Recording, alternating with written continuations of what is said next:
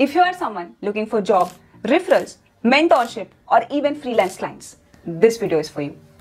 Timestamps मैंने यहाँ पे अटैच कर दिए हैं। In this video basically I am going to talk about कि आप एक अच्छा ईमेल कैसे लिखते हो एंड उससे भी इंपॉर्टेंट चीज़ आप उस पर रिस्पॉन्स कैसे पाते हो। फिर इस वीडियो में दो बंदे हैं ठीक है? एक है रवि जो मेल लिखना नहीं जानता अच्छे से ठीक है? और ये है राहुल जो प्रो है मेल लिखने में। हमें क्या करना है? वीडियो एंड तक देखनी है एंड फिगर आउट करना है कि हम रवि हैं या राहुल हैं।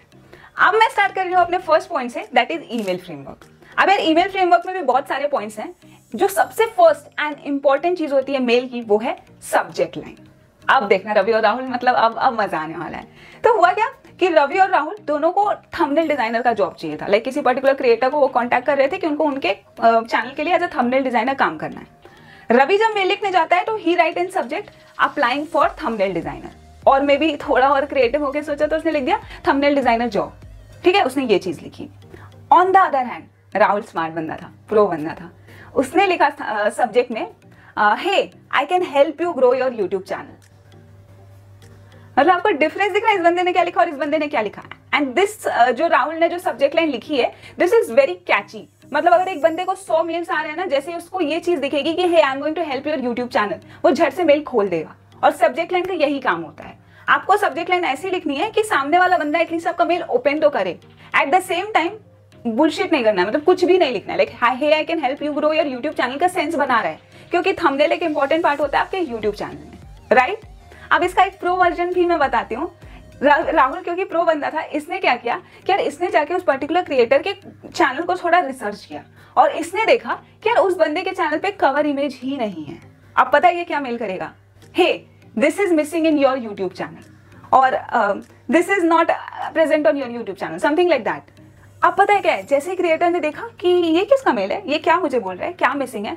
झट से वो मेल ओपन हो जाएगा। This is called good subject line अगर आप कभी भी ऐसी कोई चीज़ कर रहे हो जहाँ पे आपको, अब अब I I tell you the scenario I have explain don't go and replicate it when you are writing to your recruiter और someone bit more professional tone अगर आप किसी को मैसेज कर रहे हो तो मेल कर रहे हो तो आप ये चीज़ें नहीं लिखोगे. You can write to a company saying hey this is missing in your company I can help your company grow I mean I am not sure if that make sense but definitely वहाँ पे हमें थोड़ा और professional रहना पड़ेगा. So that's what we do not need to replicate it but definitely understand the tone background and culture or whatever whosoever your receiver is and write with that tonality that particular mail. Now as the subject line is uh, completed. Let me move to my second part that is friendly salutation or greeting.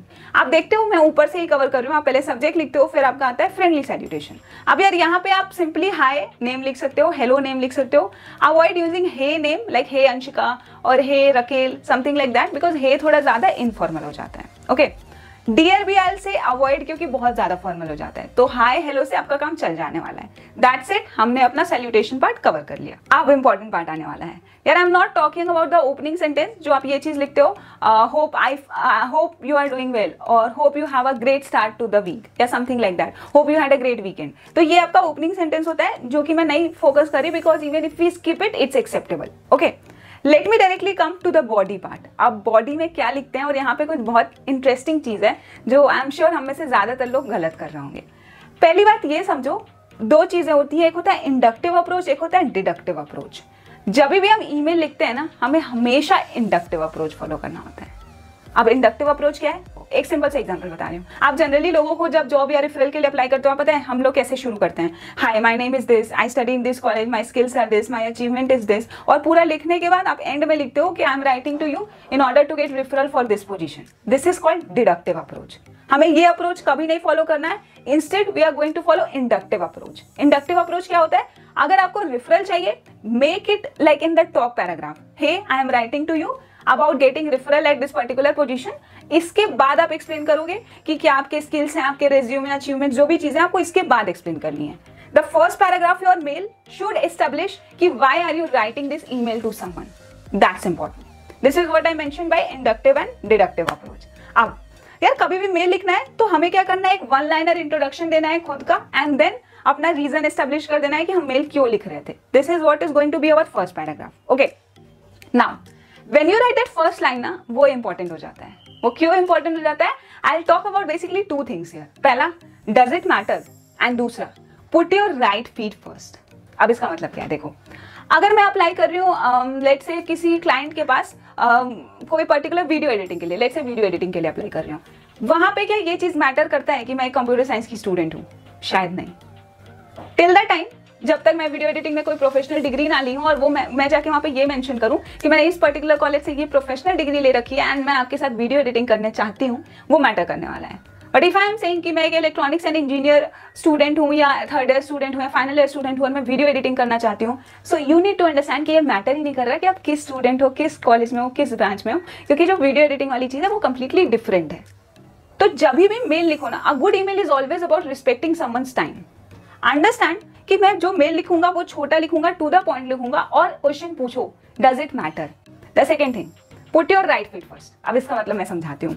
Late से आज के time पे मैं किसी एक software engineering job के लिए apply कर रही हूँ है ना? तो कभी भी हमें ये चीज़ समझनी है, मैं दो सिनेरियोज बताती हूँ। अज्यूम कि आप किसी कॉलेज में हो, आप ऐसे लिखोगे अपने इंट्रोडक्शन में कि hey I am third year computer science engineering student at X Y Z college right आप एक ये चीज़ लिखते हो। एंड फिर इसके आगे लिखोगे I am reaching to you about जो भी मेरा कॉन्टेक्ट है, वो चीज़ मैं ऐड कर दूँगी. Right?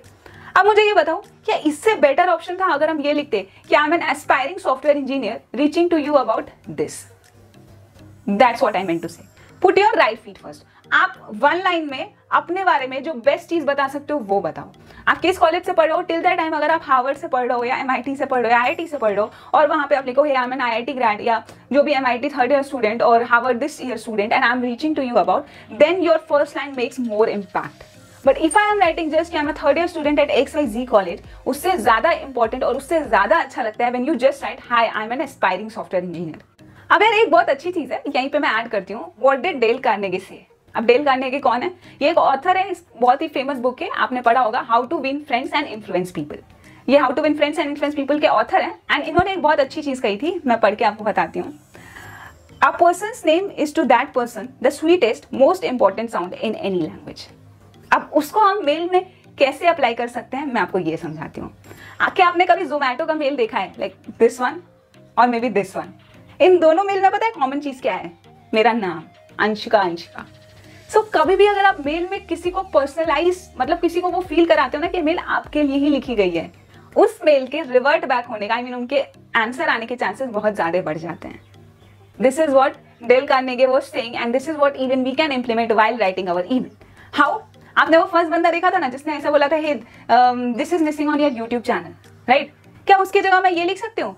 Anshika this is missing on YouTube on your YouTube channel boom this is going to make even more impact than what first one was making. So this is how you are going to, i mean consciously use the receiver's name sometime अब इतना भी नहीं करना कि हर paragraph में उसका नाम use करो, ऐसा नहीं। But yes where you feel कि नेम यूज़ हो सकता है यूज़ करो। That is going to give that person a very good feeling about that mail and there are high chances कि आपके मेल के शायद आंसर आ जाए। Now let's move on to homework is greater than class work what do I mean by that यार mail बहुत सारे लोग लिखते हैं। ज़्यादातर लोग जो चीज़ नहीं करते हैं, वो है होमवर्क अगर होमवर्क करके जाएँगे ना, और जो बहुत कम लोग कर रहे हैं, अगर हम वो करके जाएँगे ना तो बहुत ज़्यादा चांसेस है कि हम एक बहुत बढ़िया मेल लिख रहे होंगे। कैसे? मैं आपको ये बताती हूँ। फ़र्स्ट बंदा जिसकी मैं बात करी थी, Rahul. If you remember Rahul ने होमवर्क करा था। उसने जाके उस क्रिएटर का चैनल देखा, उसने फिगर आउट करा कि यहाँ पे बैनर मिसिंग है and then he mail that person this is called homework similarly अगर आप कभी रेफरल के लिए अप्लाई कर रहे हो homework is getting that job ID job ID आपने जैसे ही लगाया, आपने अपना होमवर्क कंप्लीट किया। नाउ बॉडी में हमने बहुत सारे आई मीन हैक्स और पॉइंट्स डिस्कस करे हैं. Now the last part not even the last your closing sentence और योर कंक्लूजन और maybe your even your C T A यहाँ पे आप रिसीवर को बता रहे होगे कि आपने ये मेल किया, अब आप उसके रिस्पॉन्स में क्या चाह रहे हो? फॉर एग्ज़ाम्पल लेट मी मैं चाह रही हूँ कि looking forward to hear from you और looking forward to a prompt response मैं चाह रही हूँ आप जल्दी से रिस्पॉन्ड करो. और let me know what you think about it अगर मैंने कुछ उनसे शेयर किया है, कुछ वीडियो या कुछ जैसे थंबनेल का एग्जांपल लिया था, वो शेयर किया है तो आई लास्ट हिम कि आपको क्या लग रहा है, आप मुझे बताओ. So this is very important part. At the end you put that conclusion or CTA and making the receiver understand कि उनको अब क्या करना है. So once this is done, अब आता है final part that is your signature. Signature is nothing like you just write even cheers, best regards, thanks and regards, best wishes, sending you a positive vibe, things like this. Avoid using like your sincerely और faithfully क्योंकि वो बहुत ज़्यादा formal हो जाता है। That is even not required when you professionally mail to someone even cheers और best regards और थैंक्स एंड रिगार्ड्स काम कर देता है। That's it I want you guys to comment like did you like this video and आपको ये video में कुछ नया सीखने को मिला या नहीं?